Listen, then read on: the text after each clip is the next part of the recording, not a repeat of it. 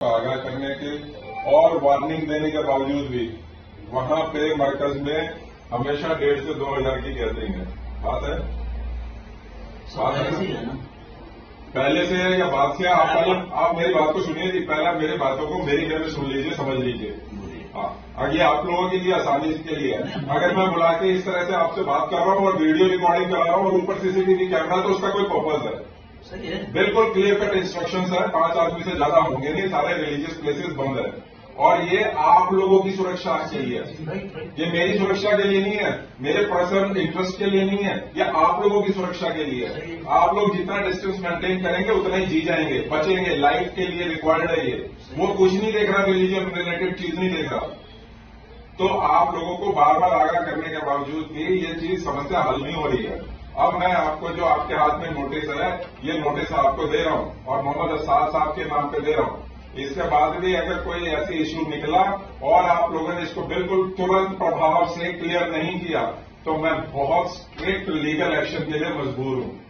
سر ہم ڈیڑھ آپ کہہ رہے ہیں ہم نے ڈیڑھ ہزار لوگ کل بھیجے ہیں یہاں سے۔ اور ابھی بھی ابھی کتنے لوگ ہیں وہاں؟ ابھی ڈھائی ہزار میں سے ایک رہ گئے ہیں ڈیڑھ ہزار ہم بھیج چکے ہیں اور ابھی بھیج رہے میں ہیں یہ پوچھ رہا ہوں ابھی کتنے لوگ ہیں؟ مرکز میں ایک ہزار ایک ہزار ہیں۔ وہ کہاں کہاں کے ہیں؟ سب دلی سے باہر کے دلی کا کوئی کہاں کہاں کے؟ کوئی لکھنؤ کا ہے کوئی بنارس کا ہے کوئی کا ہے۔ بجنور کا ہے اس طرح یہ سب جانا چاہتے ہیں لیکن بارڈر سیل کیا کریں؟ جی۔ ہم ان کو ابھی بھی آپ کو جس وے میں نکالنے کے لیے ہم تیار ہیں۔ آپ ان کو ایس ڈی ایم صاحب سے بات کر لیجیے آپ ہمیں نمبر دے سکتے ہیں ہم بات کر سے۔ یہ آپ اس طرح کی باتیں مت کیسے کرو یار۔ آپ کے پاس ایس ڈی ایم کا بھی نمبر نہیں ہے۔ اے سی پی آپ صاحب میری بات سنو آپ اس طرح کی باتیں مت کرو۔